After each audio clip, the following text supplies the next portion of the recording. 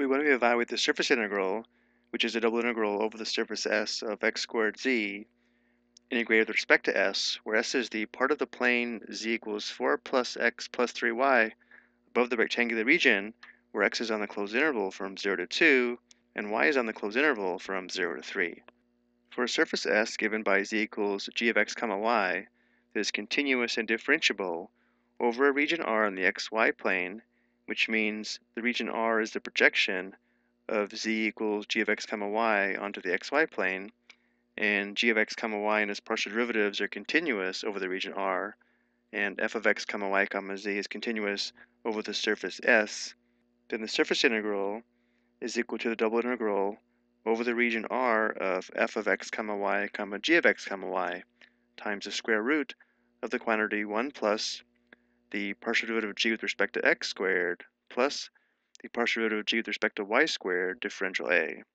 So notice how we need to write the integrand function f of x comma y comma z as a function of x and y by replacing z with g of x comma y, and then differential s is equal to the square root of 1 plus the sum of the squares of these partial derivatives, differential a. So going back to our example, let's first look at the plane over this rectangular region here.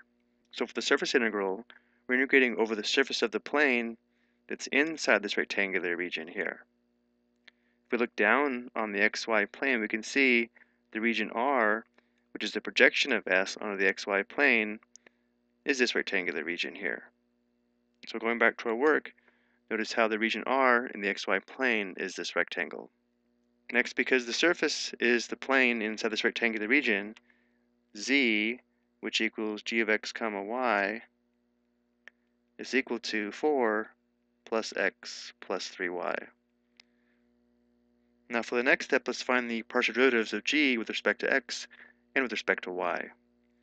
So the partial derivative of g with respect to x is equal to the derivative of 4 plus x plus 3y with respect to x, which would just be 1. And the partial derivative of g with respect to y would be the derivative of 4 plus x plus 3y with respect to y, which would be 3. Which means the given surface integral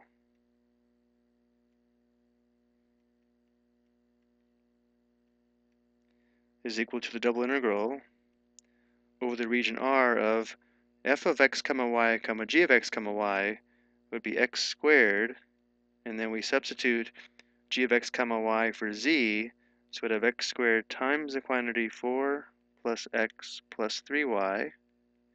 And then we have times the square root of the quantity 1 plus the partial of g with respect to x squared, which would be 1 squared, plus the partial derivative of g with respect to y squared, which would be 3 squared.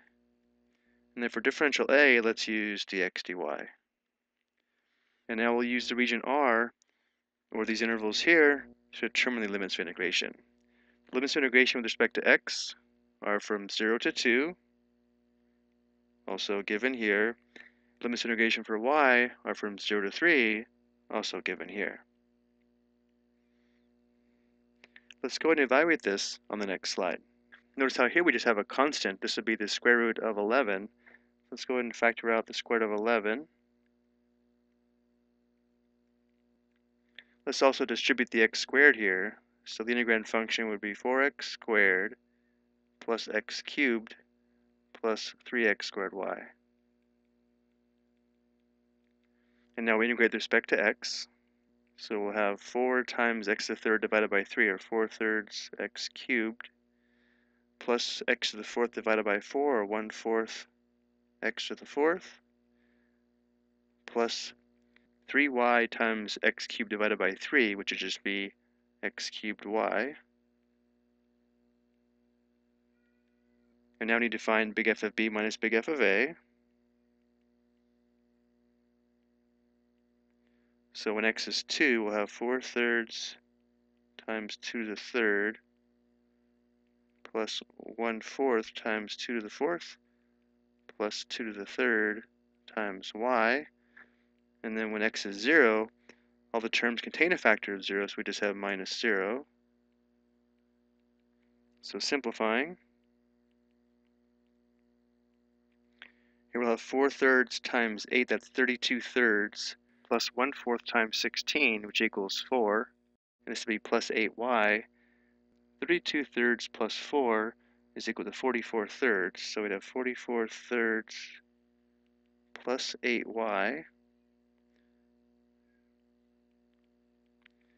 And now we integrate respect to y. So we have 44 thirds y plus 8 times y squared divided by 2, that's plus 4y squared. So when y equals 3, we have 44 thirds times 3 plus 4 times 3 squared. And when y is 0, both terms contain at least one factor of y, so we just have minus 0. So we have square root of 11 times the quantity.